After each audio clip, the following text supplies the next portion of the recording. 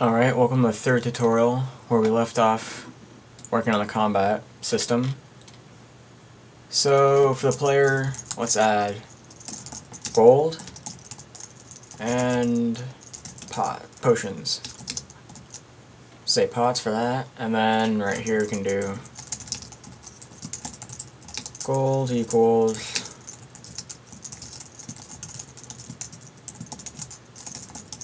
and then we'll do some potions.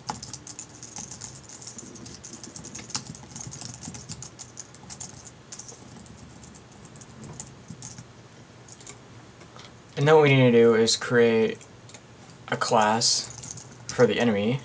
Class, we'll create an enemy called Goblin. And I'll basically have the same thing as the player, except these two. And instead of gold, it will have gold gain, which is how much money the player earns after killing this enemy. So let's set 10. And we'll do goblin. IG will equal goblin. And goblin. Okay. So let's create a second enemy.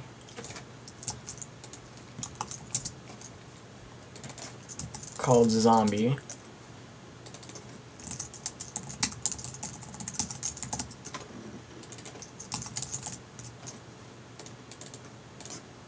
And so he'll be zombie IG. Oh yeah, let's order attack. So for this one we'll make his attack 5. This one will be 7.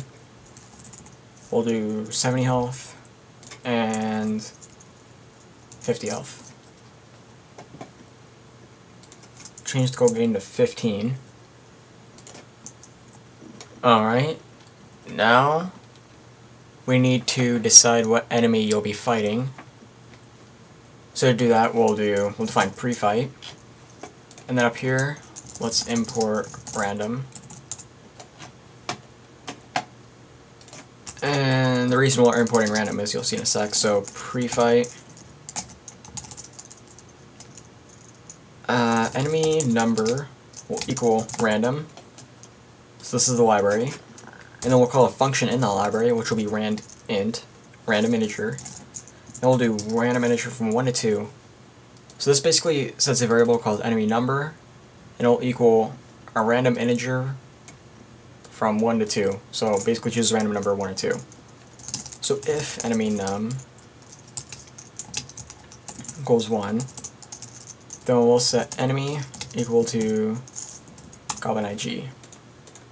We're also going to make enemy global so we can call it in other functions.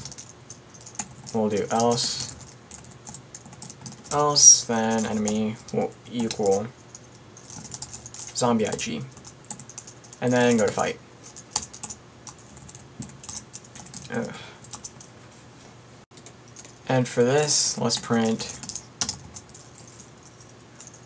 print the player's name versus enemy name. Player IG dot name, and then enemy name.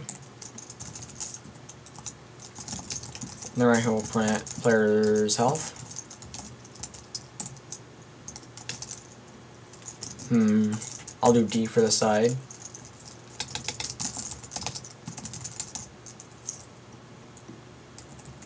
Actually, could do that. I for this side.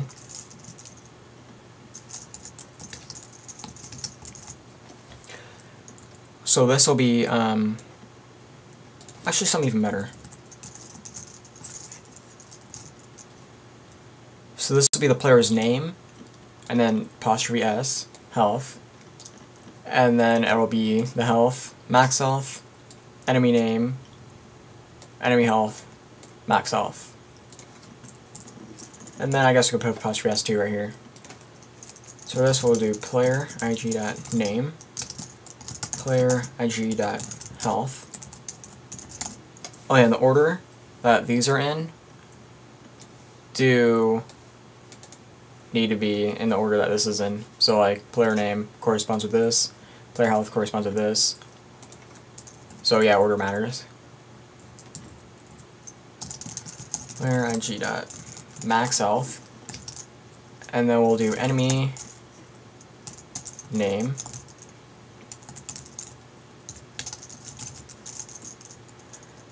Enemy health, and then the last one's enemy dot max health. Alright, so And then we could do potions, the amount of potions the player has.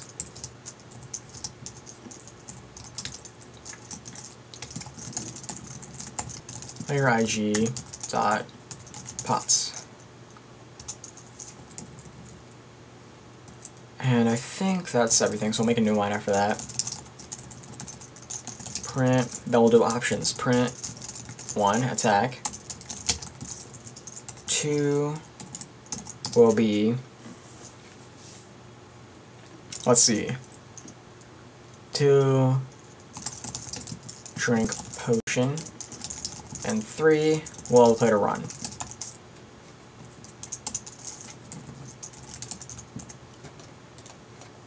What's this? Unknown enemy name. Enemy dot name. So do option equals raw score input.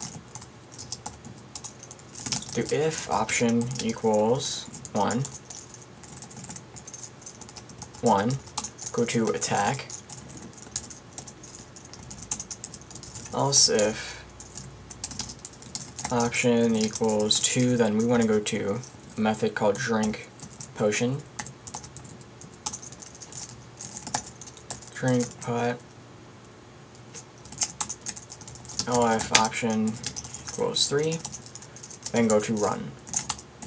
Else, we will just go back to fight. So now we define these three variables. You can do that by doing define, no, not fight, attack, pass, Fine. drink pot, pass, Fine run, pass. Alright, so an attack, we'll do os.system clear. Oh, that's also something you do right here.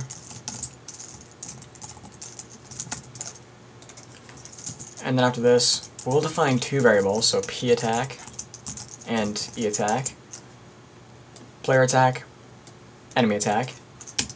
This will equal random.rand int to make the attacks random. So the lowest attack will be divided by 2. And the highest attack will just be attack.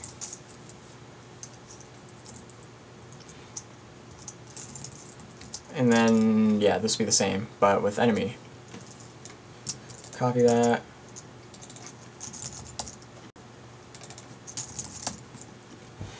Alright, now we need logic. So if, if, let's see, enemy, no, p attack equals player ig dot attack divided by 2, then the player will miss. So print you miss. Score input. And I'm doing this just to pause, so then when the player presses enter, um, it'll go on. That's what I was gonna do. Actually, we don't. We don't actually don't need to put that right here. We just do else print you deal damage p attack, and then you do enemy dot health minus equal. So this basically subtracts p attack from enemy health. So base this this basically means enemy.health equals enemy.health minus p attack. And right here, we'll do option equals raw input os system clear.